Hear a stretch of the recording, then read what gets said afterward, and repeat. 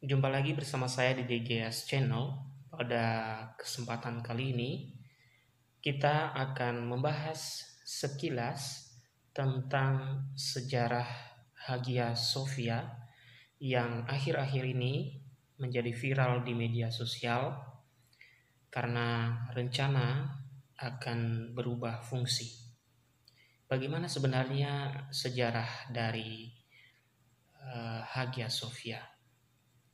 Seperti kita ketahui, Hagia Sophia pernah menjadi museum dan diberitakan baru-baru ini bahwa Hagia Sophia kembali menjadi masjid. Seperti kita ketahui, Hagia Sophia telah dicatat oleh UNESCO sebagai warisan dunia. Pada hari Sabtu, 11 Juli 2020, Presiden Erdogan melalui akun Twitternya @erterdogan menulis kebangkitan Hagia Sophia. Adapun tweet itu mendapat 23.000 retweet dan komentar serta mencapai 76.000 like. Hagia Sophia menjadi masjid setelah Majelis Negara Turki membatalkan keputusan kabinet pada tahun 1934 yang menetapkan Hagia Sophia sebagai museum. Keputusan tersebut mengundang reaksi masyarakat internasional Tentu saja ada yang pro dan kontra. Warga internasional sebagian besar kontra karena Hagia Sophia telah dicatat oleh UNESCO sebagai warisan dunia. Hagia Sophia menyimpan sejarah yang cukup penting, terutama sejarah kekristenan yang dahulu disebut Konstantinopel. Hagia Sophia adalah salah satu basilika Kekaisaran Bizantium yang ditaklukkan dalam suatu perang oleh Kaisar Ottoman. Hagia Sophia dalam bahasa Latin disebut Santa Sophia, artinya kebijaksanaan. Sementara itu dalam bahasa Turki disebut Aya Sophia Hagia Sophia dibangun oleh Kaisar Bizantium yaitu Konstantinus I pada tahun 360. Bangunan Hagia Sophia pertama terbakar akibat kerusuhan pada tahun 404. Kerusuhan yang terjadi diakibatkan oleh konflik politik antara keluarga Kaisar Arkadios yang berkuasa pada tahun 395 hingga 408. Pada tahun 415, struktur kedua Hagia Sophia selesai dibangun oleh Kaisar Theodosius II. Bangunan yang baru memiliki lima nave, nave atau tempat bangku-bangku umat dan mempunyai jalan masuk yang khas dan juga beratapkan kayu.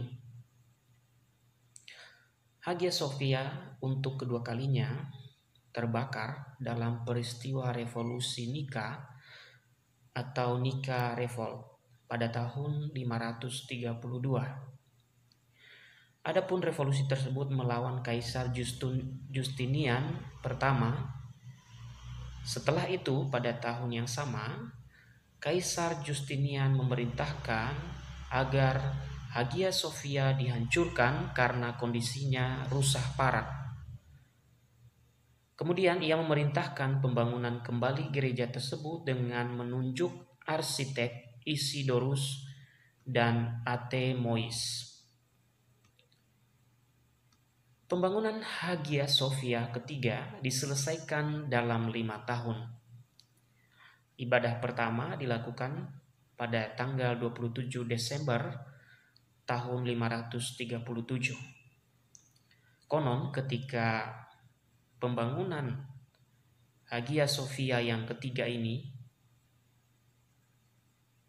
Kaisar Justinian pernah berkata, Tuhanku terima kasih atas kesempatan membangun sebuah tempat ibadah. Hagia Sophia mempunyai peran penting dalam sejarah Bizantium, termasuk menjadi saksi perang salib Kala itu, wilayah Konstantinopel berada di bawah kekuasaan Romawi dalam waktu yang singkat. Dikisahkan bahwa kekaisaran Bizantium berhasil menguasai kembali kota itu dan Hagia Sophia yang rusak kembali juga dibangun. Nah, Hagia Sophia berubah secara total sekitar 200 tahun kemudian. Ketika dinasti Ottoman menguasai Konstantinopel. Nah, Konstantinopel dikuasai di bawah pimpinan Sultan Muhammad Al-Fatih atau dikenal dengan Mehmed II. Dinasti tersebut berhasil menaklukkan wilayah Konstantinopel dan mengganti namanya menjadi Istanbul pada tahun 1453. Di bawah pengaruh Islam, Hagia Sophia diubah fungsinya menjadi masjid dan ornamen bangunannya yang bernuansa Kristiani ditutup. Kemudian ornamen-ornamen itu diganti dengan kaligrafi yang didesain oleh Kazas Ker Mustafa Mustafa IZ. Kaligrafi yang dibuat antara lain tulisan Allah Subhanahu wa taala, Nabi Muhammad Shallallahu alaihi wasallam, empat khalifah pertama dan dua cucu Nabi Muhammad. Adapun perubahan lain yang dilakukan terhadap bangunan Hagia Sophia yakni pembangunan mihrab, penambahan dua lampu perak di tiap sisi mihrab yang dilakukan oleh Kaisar Ottoman. Kemudian penambahan dua kubus marmer dari wilayah Bergama, sebuah kota di Turki yang dilakukan oleh Sultan Murad III. Pembangunan empat menara yang digunakan saat azan dan struktur Hunkar Mahfili, sebuah kompartemen diganti dengan ruang lain dekat mihrab. Nah, Sultan Abdul Majid melakukan renovasi secara besar dengan menunjuk arsitek Fossati bersaudara yang berasal dari Swiss. Dengan demikian, Hagia Sophia memiliki wujud yang baru. Pada masa modern, Hagia Sophia dijadikan sebagai museum di mana para wisatawan dari berbagai negara dapat berkunjung. Pada tahun 1935, Presiden Kemal Ataturk menjadikan Hagia Sophia sebagai museum dan ditetapkan sebagai warisan dunia oleh UNESCO pada tahun 1900 1985. Pada tahun 2013 terdengar isu bahwa Hagia Sophia akan dikembalikan menjadi masjid. Tujuh tahun kemudian, yaitu tahun 2020, Hagia Sophia dikabarkan benar berubah fungsi menjadi masjid dan ibadah sholat pertama akan diadakan pada tanggal 27 Juli 2020. Banyak berita yang beredar di media sosial mengatakan bahwa Hagia Sophia telah dibeli oleh Mehmet II. Apakah benar telah dibeli? Sebenarnya berita yang tersebar itu adalah bohong dan hoaks karena Hagia Sophia tidak pernah dijual. Yang benar adalah bahwa dalam suatu peperangan Hagia Sophia yang ada di dalam wilayah Konstantinopel ditaklukkan sekaligus dikuasai dan diubah fungsinya.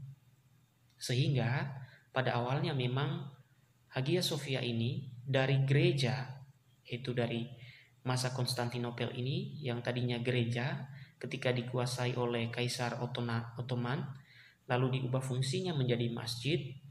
Kemudian setelah itu seperti saya katakan tadi pada tahun 1935 Presiden Kemal itu merubah fungsinya menjadi museum. Karena pada hakikatnya menjadi museum sebenarnya lebih tepat karena bisa dilihat oleh orang lain sejarah-sejarah yang pernah terjadi dan sejarah-sejarah itu tidak hilang begitu saja.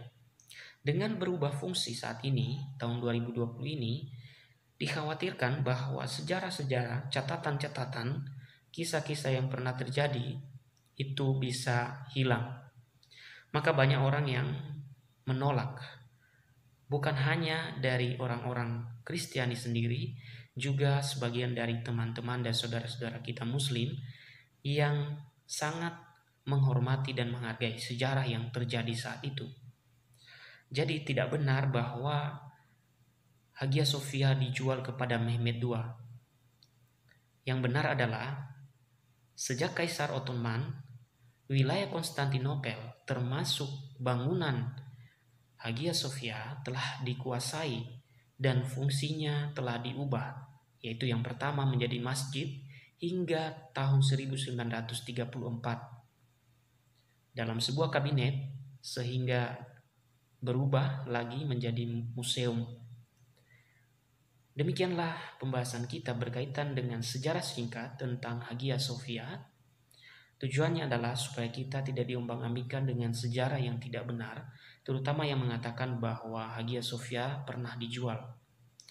Berita itu tidak benar karena yang benar adalah Hagia Sophia ditaklukkan sejak wilayah Konstantinopel ditaklukkan oleh Kaisar Ottoman. Itu yang benar. Kemudian setelah ditaklukkan diubah fungsinya Lalu pada tahun 1934 dalam sebuah kabinet diputuskan bahwa Hagia Sophia dijadikan museum dan terrealisasi pada tahun 1935 ketika Presiden Kemal menyetujui hal itu. Demikianlah pembahasan kita pada kesempatan ini. Jangan lupa dukung terus channel ini supaya kita mendapatkan ilmu-ilmu yang baru, sejarah-sejarah yang baru dan juga melawan hoax-hoax yang tidak benar dan tetap semangat dalam mengungkapkan apa yang benar, meluruskan apa yang salah. Salam sejahtera untuk kita semua dan sampai jumpa pada pembahasan selanjutnya.